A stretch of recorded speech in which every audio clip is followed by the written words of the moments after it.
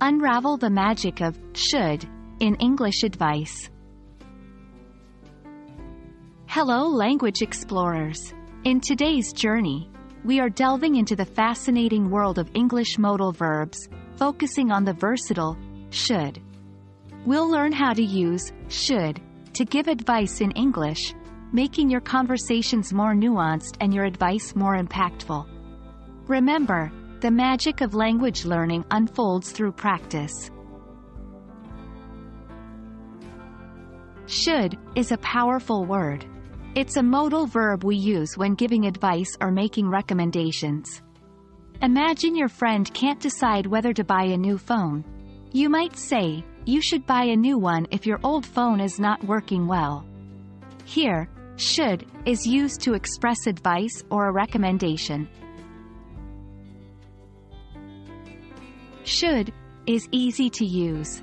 The structure is simple, subject plus should plus base form of the verb. For example, you should go to the doctor. In negative form, it's subject plus should not, or shouldn't plus base form of the verb. Like, you shouldn't ignore your health. Let's explore some examples. 1. She should apply for the job. She has all the necessary skills. 2. They shouldn't wait any longer. The deadline is tomorrow. 3. We should consider recycling more. It's good for the environment. Notice how each of these sentences offers advice or recommendations. Now, it's your turn. Try to construct sentences using should to give advice on the following situations. 1. Your friend can't decide whether to study abroad or not. 2. Someone is considering skipping breakfast to lose weight. 3. Your brother is thinking about adopting a pet.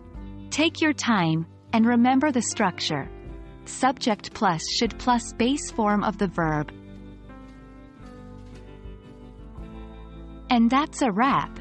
We've covered the use of should for giving advice, learned its structure, explored examples, and practiced with some exercises.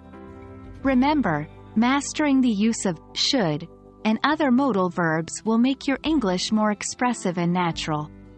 As always, practice is key. Happy language learning, and see you in the next video where we'll explore more exciting aspects of English grammar.